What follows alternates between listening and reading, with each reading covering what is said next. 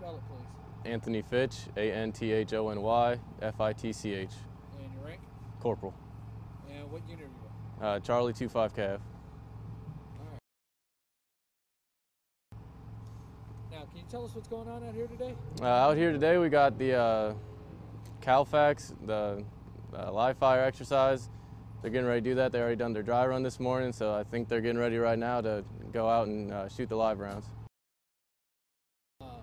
How do you feel the training went? I understand you went through it yesterday. How did that go? Uh, it was fun being attached to our infantry counterparts, but uh, it's just nice to see how they do things and then how we do things. And uh, it's good uh, practice for passage of lines and things like that.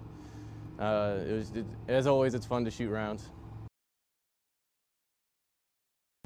Now, how long does the typical this range take?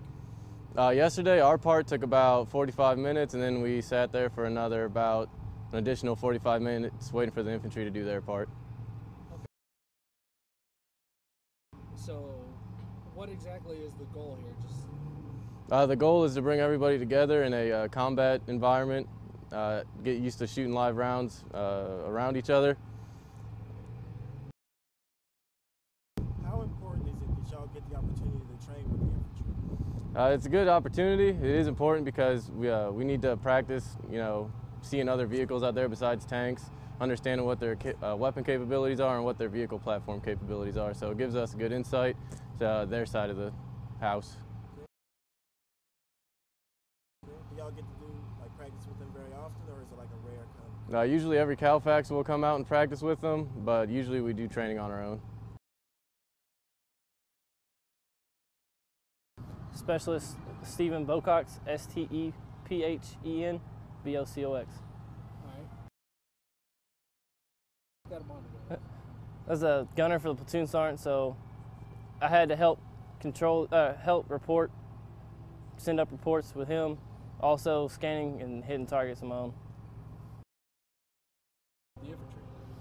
It's definitely a ex- good experience. Uh, the infantry, they have a whole nother way of how they do things, so it's great to interact that with ours.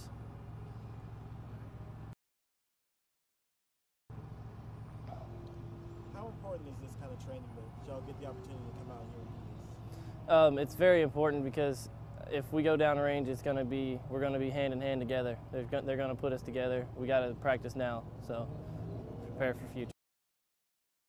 What does this training mean for you specifically? Uh, for me, it, it basically just know what I'm shooting at.